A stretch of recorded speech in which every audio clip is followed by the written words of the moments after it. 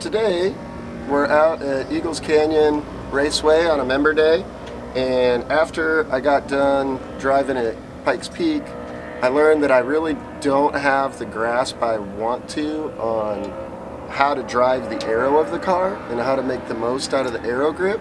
So today my goal is to learn how to G the car up with the aero and get it into the aero bubble. Like get past the aero bubble, into the aero, use the aero, and then try to find the limits of the car there and learn how to drive it there. And that's something that in theory I thought sounded pretty straightforward, but in reality, if I'm going to be honest, it's a little bit scarier than I thought. So I'll take some time here in this video to go over my experience with that and what the differences are and how it feels.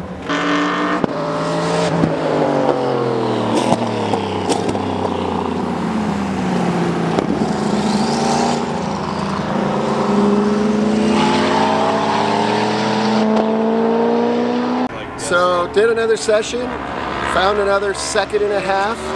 Most of it's just trusting the car and corner speed. It's been absolutely a crazy experience with how fast you can go in the fast corners. I keep trying to find the limit in turn six. At the beginning of the day, I was going into like fourth gear and tapping the brakes. Then I was going into fourth gear, not braking. Now I'm upshifting to fifth and not braking and I still haven't found the limit. So it is just insane how quickly you can really go through some of these turns.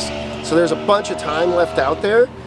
Just got to go find it and it's been working well for me to just incrementally try and bump up and just go into the corners and scare myself a little but don't get too crazy and then I'm trying to learn because there's a difference in how fast you're going versus how much grip you have. The faster you're going, the more grip you have with the setup, which makes absolute perfect sense, but it's difficult to program your subconscious brain in the moment when you're driving to get used to that. But I really have been efforting at that, and I think it's, it's paying off and it's working, and it's so much fun. So there's a few different ways of doing an aero car that a lot of people do. The basic way is to start out with a splitter and then adding a wing to the car and then just using the best guess scenario on what's going to be ideal for your car. And that's going to give you some pretty drastic improvements over a car without any aero, but it's not going to get you the maximum out of a package. And you're not going to have as easy of a time managing your center of pressure. And what the center of pressure is, is where in the car front to back is the balance of the aero's center. So if the center of pressure is back, the car will push. If it's forward, it'll be loose. So if you're just putting a splitter and a wing on, you're gonna have to go out on track and tune those things. Usually it's safer to start with the car tight or pushy and then kind of take wing away until it balances. On a car like this, we've had our friends at Verus Engineering scan the entire car and then set it up in CFD so we can get a baseline for what works and what doesn't on the computer so we don't have to spend as much time at the track putting wear and tear on the car and just taking guesses at it.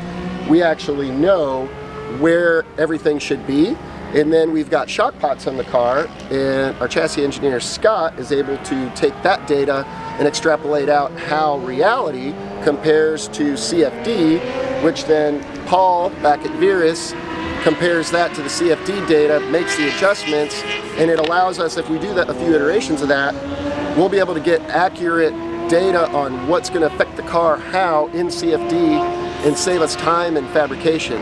Because on a car like this, most of the aero components are made specifically for this chassis so that they're optimized for this chassis. So remaking all of that stuff over and over and over could take years of development, but by doing it the way we're doing it, we're going to try to get it down into months so that by the time we get to the next hill climb, we'll have the whole package sorted out and have it maximized. Well, that's a wrap for today. We're getting ready to put it back in the trailer. The car did great. Just kind of ran out of open track. People started getting showing up and track got full and we really didn't have enough open track to do any more testing. So we'll have to bring it back and continue the procedure. Shake it,